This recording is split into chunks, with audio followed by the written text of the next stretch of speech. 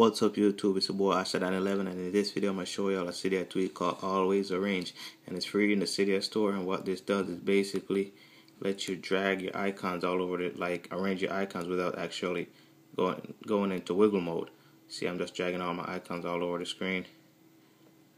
So that's basically what this tweak does guys and if you want to go into wiggle mode all you have to do is just pull it to the status bar and then you enter wiggle mode. So yeah, that's basically the tweak. When you get it, you go you could go to settings and go to always arrange and you could disable it or enable it which is always great.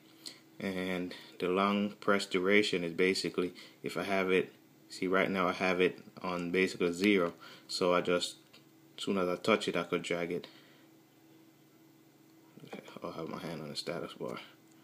As soon as I touch it I could just drag it anywhere. So that's basically what the long press duration is. And if I drag it up I will have to hold the icon for a while. See what I'm saying? I can't just drag it just like that. I have to press it, then I drag it.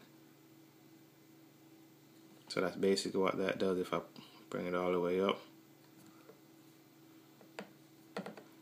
Then exit out.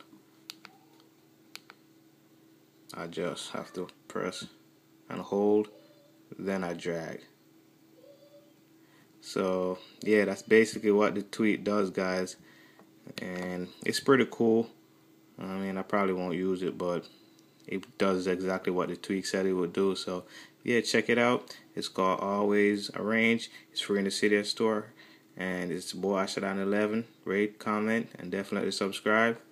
Peace.